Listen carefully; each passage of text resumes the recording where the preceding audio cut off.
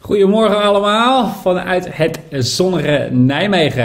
Het is uh, heel bijzonder om bij jullie te kunnen zijn vanochtend. Pas heeft mij gevraagd uh, om te spreken. En uh, omdat we in full flow zijn en vandaag ik ook in Novio Kerk in Nijmegen spreek, um, doen we het via video. En uh, ik denk dat het een heel bijzonder moment is, een bijzonder seizoen waar jullie uh, als kerk instappen. En uh, het is een voorrecht om dat samen met jullie te mogen delen. Dus um, Bas heeft gevraagd of we wilden spreken over uitstappen in geloof en vertrouwen op God. En ik weet niet waar jij aan denkt als je nadenkt over uitstappen in geloof, maar het eerste verhaal wat mijn gedachten te binnen schiet is het verhaal van Petrus, die uitstapt op het water. En uh, dat is een heel belangrijk verhaal geweest in uh, mijn reis met God. En daar wil ik jullie graag in meenemen vandaag. Um, uh, de context van het verhaal is dat Jezus net gehoord heeft dat Johannes de Doper onthoofd is. Um, zijn neef heeft het leven verloren en is daar uh, ja, uh, oprecht uh, verdrietig over. En hij zoekt daar tijd voor een afgelegen plek om alleen te zijn. Maar als hij aankomt op die plek, blijkt er een hele menigte hem gevolgd te zijn. En ehm, nou ja, je kan je voorstellen als je slecht nieuws hebt gehad, je hebt een lange dag gehad. En je komt thuis en ineens is er een verrassingsfeestje. dat je niet helemaal klaar bent om een groep zoals hen te ontvangen. Maar Jezus is bewogen met medeleven en hij gaat aan het werk. Hij geneest alle zieken. En vervolgens is het al laat. De discipelen zeggen: laten we de menigte wegsturen. Maar Jezus zegt: nee, laten we ze te eten geven. Geven jullie hen te eten. Uh, en de discipelen denken: oeh, uh, we hebben vijf broden en twee vissen. maar Jezus zegt: breng ze. En hij vermenigvuldigt het. En ze geven de hele menigte, meer dan 5000 mannen, nou, vrouwen nog ineens en kinderen bij inbegrepen, te eten. En iedereen is niet alleen vol van het eten, maar ook vol van overmoed. Want er staat in de evangelie dat ze op het punt staan om Jezus koning te maken. ze staan op het punt Jezus koning te maken van hun eigen agenda. Maar uh, Jezus laat zich daar niet verlenen en hij stuurt ze weg. Uh, en vervolgens gaat hij waar hij voor gekomen is. Hij gaat zelf de berg op om alleen te zijn met de Vader om te bidden. Uh, en vervolgens stuurt hij zijn discipelen de boot in, het meer op. En halverwege, als ze op het meer zijn, komt er een grote storm, harde wind. en er staat dat ze geteisterd worden door de golven. Het gevecht begint.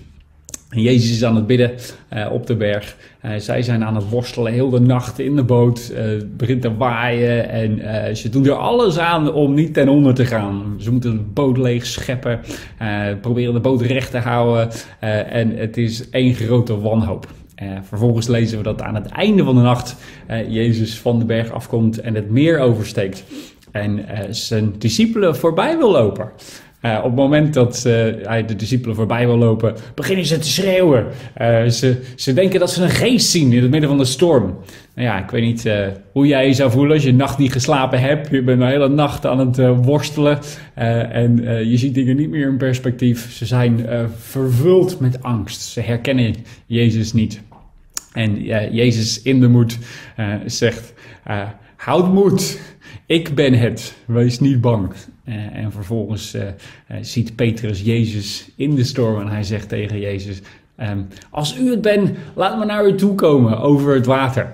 En Jezus zegt: Kom. En Petrus die stapt uit, uit de boot en hij gaat naar Jezus toe. Hij denkt niet na, hij gaat.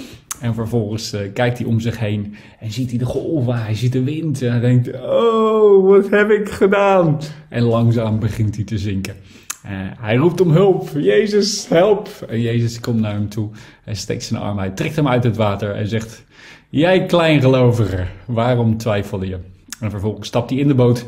En op het moment dat hij in de boot stapt, uh, komt alles tot rust. De wind uh, komt tot rust. De golven komen tot rust. En alle discipelen vallen op hun knieën voor Jezus. Zeggen: U bent de zoon van God. Een prachtig verhaal. Uh, iets wat echt tot de verbeelding spreekt. Je ziet het helemaal voor je. Uh, de golven, de wind, uh, de discipelen die aan het vechten zijn. En het is een verhaal over geloof. Het vertrouwen op God, op Jezus in de storm. En ik wil daar een paar dingen uithalen samen met jullie. Om doorheen te gaan, om te leren hoe we God kunnen vertrouwen in de storm. Nou, allereerst als je zou bedenken uh, om een uh, cursus waterlopen te starten vandaag de dag, uh, zou je het niet aanpakken zoals Jezus deed. Je zou waarschijnlijk beginnen op een zonnige dag. Als er niet zoveel, hè, geen, geen vuiltje aan de lucht is. en je kan je voorstellen dat je een, een veilige plek zoekt. Misschien een, um, kinderbadje met een klein beetje water. En uh, je ziet voor, Jezus staat aan de ene kant met zijn coachpad op. Uh, en uh, Petrus aan de andere kant. En Jezus zegt, zo, nou gaan we beginnen. Zet eerst je rechtervoet op het water. En Petrus begint met zijn rechtervoet op het water. En Jezus zegt, je kan het, kom op, we gaan ervoor. Water lopen. En Petrus zet zijn tweede voet op het water. Maar nee, het lukt niet. Hij begint te zinken. En Jezus zegt, ah, Geef niet. We proberen het nog een keer. En Petrus gaat weer naar de andere kant van het zwembad. En Jezus uh, zet zijn coachpad op. En daar beginnen we weer. Je kan het. Hou vol. We gaan ervoor. Dit verhaal klinkt heel anders.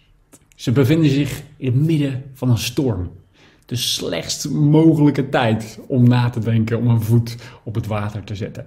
Eh, de omstandigheden zijn slecht. De discipelen hebben een hele nacht niet geslapen. Nou, ik weet niet hoe jij eruit ziet als je een nacht niet geslapen hebt, maar uh, als ik een nacht niet geslapen heb, uh, dan verlies ik alle redelijkheid behoorlijk snel. Ze hebben heel de nacht geknokt om niet te verzuipen. ze zijn moe, uitgeput, waarschijnlijk hongerig. Er is een harde wind, hoge golven. het is donker. Alles, alles is altijd anders in het donker. Als ik wakker word, uh, je hebt gedroomd en het is donker om je heen, is het moeilijk om dingen in perspectief te zien. Je gaat over dingen piekeren of angst komt automatisch in het donker. Uh, de omstandigheden zijn niet goed. Uh, maar mooi is dat de storm de omstandigheid is waarin geloof groeit. Geloof groeit niet op de zonnige lentedag. Uh, uh, geloof groeit niet op de zomerdag als alles goed gaat. Geloof groeit in de winter, in de herfst, als dingen moeizaam gaan, moeilijk zijn. En de meeste mensen wachten met groeien in geloof totdat de omstandigheden beter worden. Ehm, de meeste mensen denken, nou, het is nu zo druk, even geen tijd om uit te stappen in geloof. er gaat zoveel mis op het moment, eerst maar daar eens door, doorheen komen. terwijl Jezus ons juist wil laten groeien in die momenten. Ik weet niet hoe het bij jullie gaat, maar bij ons is er eigenlijk nooit een ideaal moment om ergens in uit te stappen. We zijn altijd weer te druk met dingen in ons huis, met een nieuwe baan, verhuizen, verbouwen, kinderen. Misschien wacht je wel tot je met pensioen bent of tot je met je studie klaar bent. maar er is eigenlijk nooit een ideale tijd. de manier waarop we groeien is om te leren uit te stappen in het moment en op de moeilijkste momenten. Um, en daarom laat God af en toe stormen toe in ons leven. Niet om ons te laten verzuipen, maar om ons te helpen om te groeien. je leert niet dienen op het moment dat je tijd over hebt. Je leert niet geven op het moment dat je geld te veel hebt. Je leert niet God vertrouwen wanneer alles goed gaat. Uh, we leren God te dienen op het moment dat onze tijd kostbaar is. We leren om te geven op het moment dat we uh, niet genoeg hebben. Uh, we leren om God te vertrouwen op het moment dat dingen misgaan. als Nederlanders hebben we soms de neiging om eerst een tien stappen plan klaar te hebben om een goede aanpak en een succes te waarborgen voordat we stappen maken. Uh, maar de les, de eerste les die we uit dit verhaal kunnen leren, is dat uh, we niet hoeven wachten tot perfecte omstandigheden. Het is juist in de storm waarin ons geloof kan groeien. Het tweede punt wat ik uit wil halen is: wat zie je in de storm? De discipelen zitten in het donker, ze zijn angstig, uh, ze zien Jezus in de storm, maar ze herkennen hem niet. En zo vaak herkennen wij God niet in de storm. Als dingen moeizaam gaan en moeilijk gaan. En uh, we uh, zien een, een, klein beetje van Gods aanwezigheid, herkennen we het vaak geen eens. De discipelen uh, denken dat het een spook is. Ze willen juist wegkomen van Gods aanwezigheid in de storm. ze raken er angstig van. Ze weten niet wat ze ermee moeten. En heel vaak leren wij ehm, Gods aanwezigheid in stormen te herkennen, door doorheen te gaan. We, we hebben uh, Gods aanwezigheid nog niet herkend op die manier. En uh, God openbaart zich anders op momenten van storm en onrust en moeite en pijn, uh, dan op momenten van rust en vrede als alles goed gaat. De discipelen hebben Jezus net gezien op de berg. Hij heeft de hele menigte te eten gegeven, prachtig wonder. en toch herkennen ze Jezus niet op het moment dat hij over het water loopt. Ze achten het onmogelijk. Um, en toch is Jezus aanwezig. Jezus is bij hun in de storm. Maar ze moeten zijn aanwezigheid eerst leren herkennen. Um, misschien ga je wel door een seizoen van moeite en pijn heen. De manier waarop God zich openbaart in dit soort seizoenen is anders. op het moment dat we door rouwverwerking heen gaan of pijn, leren we God herkennen op een andere manier als, als alles goed gaat en we blij zijn en vol vreugde. Misschien denk je wel eens in je leven, oh, ik, ik, ik ervaar God niet zoals ik hem uh, vroeger ervaarde. Misschien ben je wel wat vreugde verloren of uh, enthousiasme of andere dingen. Maar er zijn ook seizoenen in ons leven waarin we God kunnen ervaren als we niet alles voor elkaar hebben. Als we niet vol vreugde en blijheid zijn. Juist in rouw en pijn en verdriet en moeilijkheden kunnen we God ervaren op een nieuwe manier. En uh, juist daarin kunnen we rust vinden en kracht en vrede. Um, toen wij uh, ons klaarmaakten om naar Nederland te komen, gingen we eigenlijk door uh, anderhalf jaar van pijn en moeite. Uh, verschillende dingen die gebeurden die uh, leidden tot um, ja, uh, misverstanden, pijn, moeite. en ik kan me goed herinneren in dat seizoen dat ik echt aan het knokken was. Aan het knokken met de storm, aan het knokken met God. Ik wilde liever wegkomen van de storm. Ik herkende God niet in de storm. En om te leren om op die momenten Gods aanwezigheid te omarmen en te ervaren was heel bijzonder, maar het kwam op een hele andere manier uh, als um, ik misschien gewend was. Uh, misschien ga je jezelf wel door een seizoen heen. en de vraag is, hoe kun jij God ervaren in dit seizoen, in de storm, op een manier waarop je Hem wel kan herkennen? vervolgens lezen we dat Jezus hen voorbij wilde gaan. Een merkwaardig punt. Denk, waarom zou Jezus naar de discipelen gaan? Om ze vervolgens voorbij te gaan. Het is bijna een soort van sadistisch. Dat je denkt van, oh, Jezus gaat op zoek. hij loopt langs de discipelen, hij zwaait en vervolgens gaat hij verder. Um, en uh, toch is er een hele specifieke reden waarom dit vermeld is, denk ik. Um, het is bijzonder om te zien dat Jezus ons de ruimte geeft om uh, ons eigen gevecht met de storm aan te gaan. Jezus is niet een overbeschermende ouder die uh, overal achter zijn discipelen aanloopt om te zorgen dat het allemaal goed gaat. Hij geeft ze ruimte om zelf door de storm heen te gaan, om God te leren vertrouwen in de storm. Jezus had zelf hetzelfde ervaren. Jezus werd gedoopt en uit de hemel uh, kwam er de stem: Dit is mijn zoon. In hem heb ik mijn welbehagen, luister naar hem. En uh, vervolgens zien we dat hij door de geest de woestijn ingeleid wordt. 40 dagen. En gedurende die 40 dagen hoort hij niks. De enige stem die hij hoort in die 40 dagen is de stem van Satan. En Jezus moet leren vertrouwen wat hij uh, tijdens zijn doop gehoord heeft uh, op momenten dat hij alleen is. Uh, hè, op, op momenten dat we door donker en duister en storm heen gaan, moeten we leren vertrouwen op de dingen die God gesproken heeft op de zonnige mooie dagen. Dat zijn de momenten waarop we Gods stem vasthouden en hem leren vertrouwen.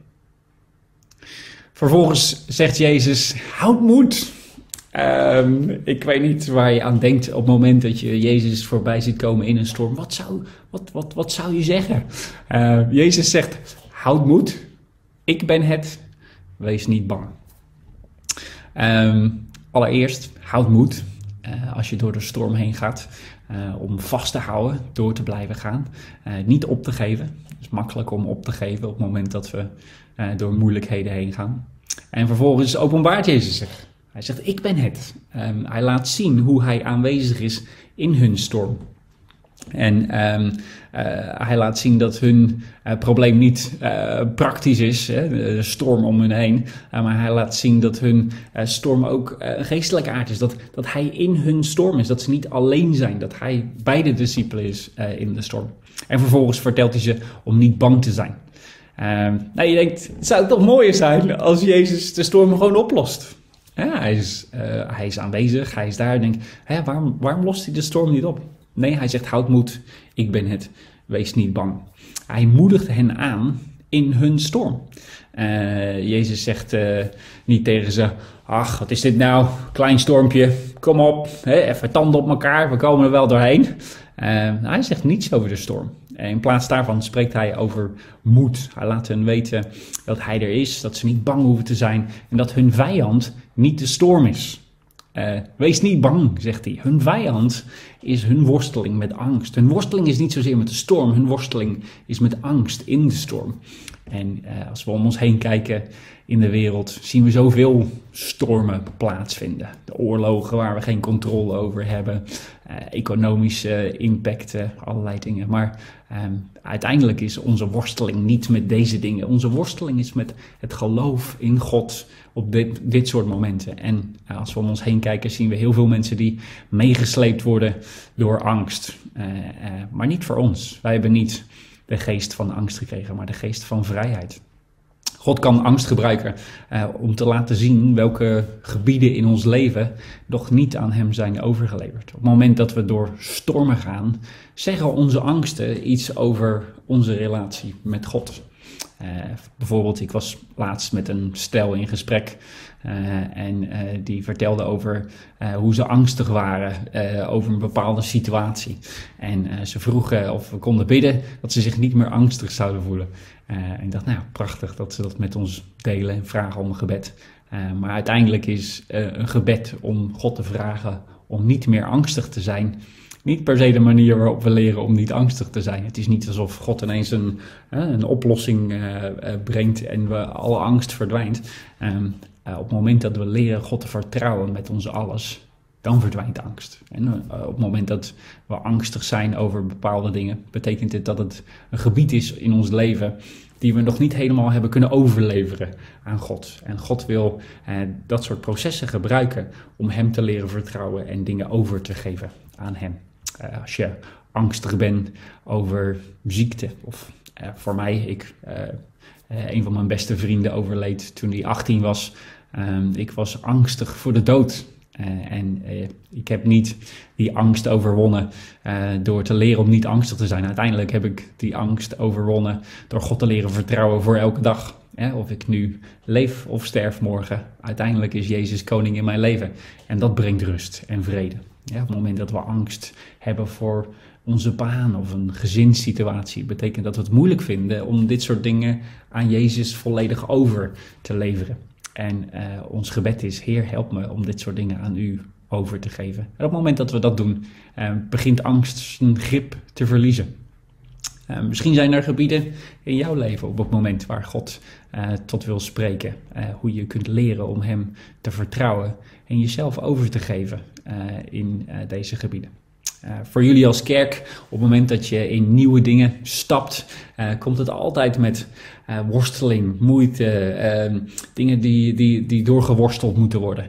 en het is goed om op te letten. Wat zijn de dingen die, um, ja, waar God ons doorheen probeert te helpen? Is er angst in dit proces? Zijn er dingen waar we tegenaan lopen, waarin we kunnen leren om onszelf um, aan, volledig aan God toe te vertrouwen. Vervolgens zien we in het verhaal dat Petrus Jezus ziet en de situatie en hij denkt, ehm, daar moet ik zijn. Nou, in mijn beleving had Petrus twee opties. Uh, Jezus komt voorbij, ze zit in een storm, hij zit in de boot. Hij denkt, waar Jezus is, uh, daar is het veilig. Uh, en in mijn optiek zou je bedenken dat hij zou uitroepen naar Jezus: hey, wij zitten hier in de boot. Help ons, kom, kom, help ons in ons bootje. in plaats daarvan zegt hij: Heer, als u het bent, roep me om naar u toe te komen. Nou, dat is niet heel logisch. als je denkt dat uh, Jezus over de golven, uh, door de storm heen loopt, denk je niet, nou, dat is de plek waar ik moet zijn. En toch uh, heeft Petrus iets te pakken in dat moment. De veiligste plek op dat moment is niet in de boot. De veiligste plek is bij Jezus.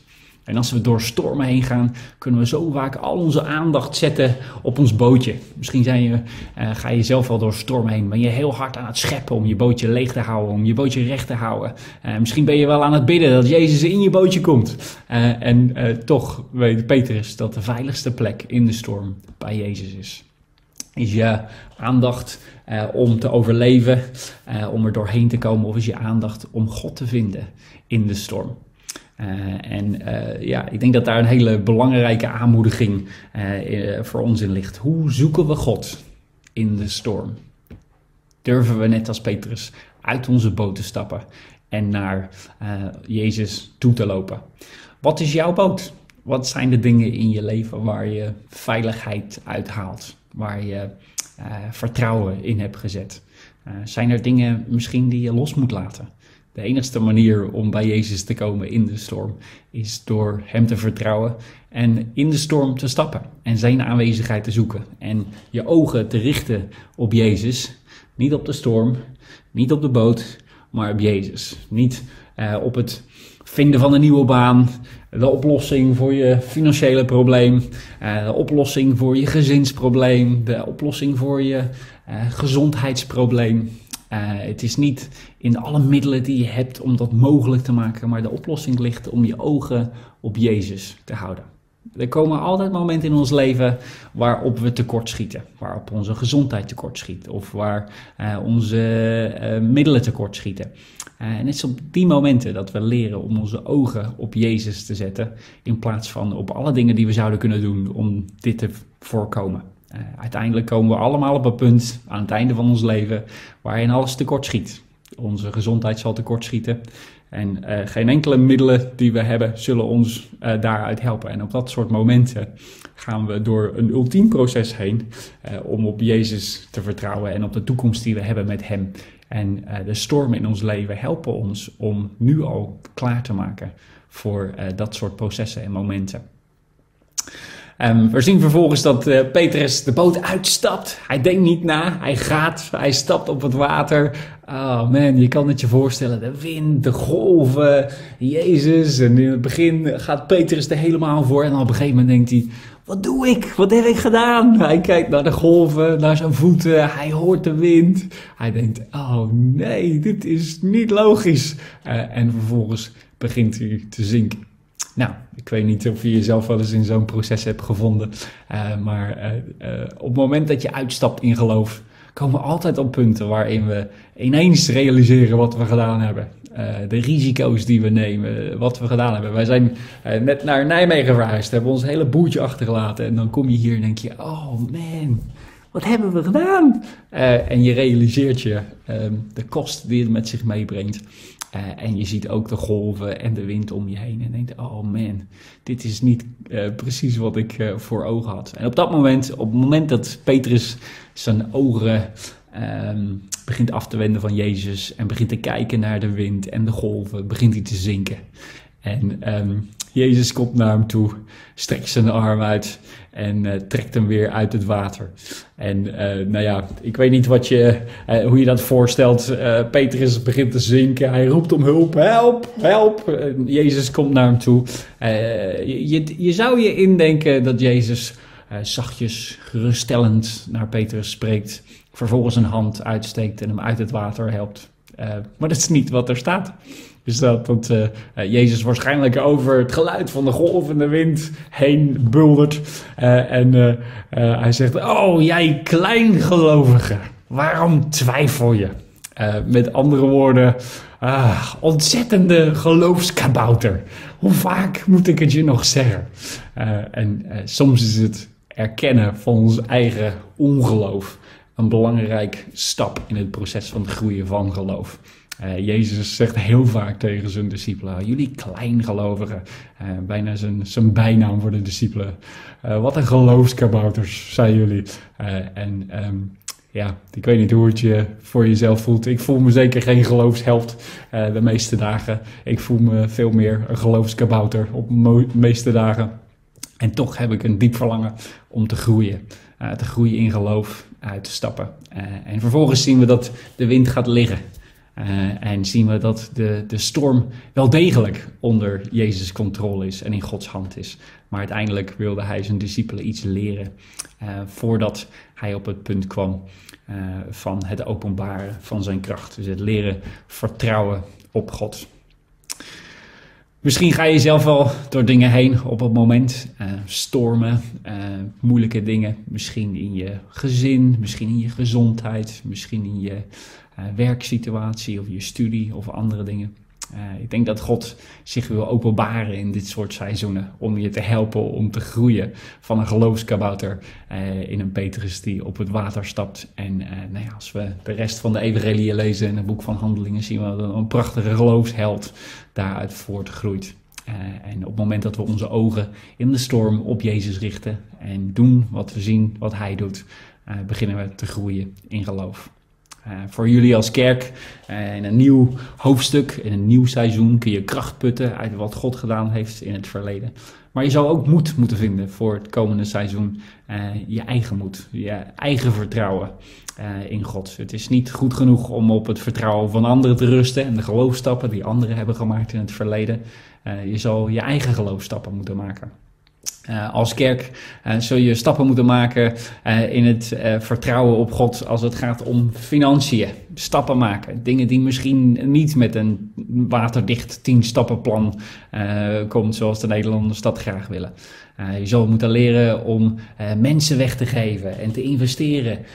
dingen die niet logisch zijn. En toch komt daar het koninkrijk van God uit voort. En ik geloof dat daar hele mooie dingen uit gaan komen. Er zijn al prachtige dingen uitgekomen in het verleden maar dit is weer een nieuw seizoen uh, waarop uh, God uh, jullie wil uitdagen om uit te stappen in geloof op het water en je ogen op Hem gericht te houden. Dat gezegd hebbende wil ik graag het gedeelte lezen wat ik jullie verteld heb om het te laten inzinken. Matthäus 14. Meteen daarna gelaste hij de leerlingen in de boot te stappen en alvast vooruit te gaan naar de overkant. Hij zou ook komen nadat hij de mensen had weggestuurd. En toen hij hen weggestuurd had, ging hij de berg op om er in afzondering te bidden. De nacht viel en hij was daar helemaal alleen. De boot was intussen al vele stadien van het vasteland verwijderd en werd als gevolg van de tegenwind door de golven geteisterd. Tegen het einde van de nacht kwam hij naar hen toe, lopend over het water. Toen de leerlingen hem op het water zagen lopen, raakten ze in paniek. Ze riepen, een geest! En ze schreeuwden het uit van angst. Meteen sprak Jezus hen aan. Houd moed, ik ben het. Wees niet bang. En Petrus antwoordde, Heer, als u het bent, zeg me dan dat ik over het water naar u toe moet komen. Hij zei, kom. En Petrus stapte uit de boot en liep over het water naar Jezus toe. Maar toen hij voelde hoe sterk de wind was, werd hij bang. Hij begon te zinken en schreeuwde uit, Heer, red me! En meteen strekte Jezus zijn hand uit. Hij greep hem vast en zei: Kleingelovige, waarom heb je getwijfeld? En toen ze in de boot stapten, ging de wind liggen. De leerlingen wierpen zich voor hem neer en zeiden: U bent werkelijk Gods zoon. Misschien kun je dit gedeelte laten inzinken. Misschien kun je, kun je je ogen even dicht doen en het laten doorwerken in je eigen geest. Wat spreekt God tot jou in deze tijd? Wat spreekt Hij door dit verhaal heen in jouw leven? Wat spreekt God tot jullie als kerk in dit seizoen? En welke stap is er nodig om Hem te volgen in wat Hij spreekt?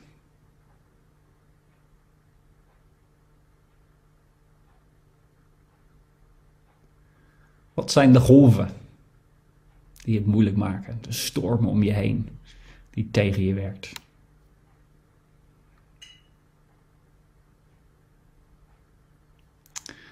Wat is je zogenaamde veiligheid?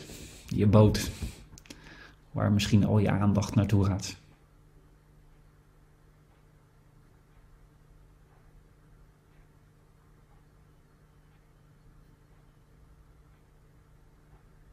En hoe kun je in dit seizoen je ogen op Jezus houden en uitstappen uit je boot in geloof. Wat is één stap die je vandaag kan nemen om een stap te zetten op het water? Op de plek waar God je roept.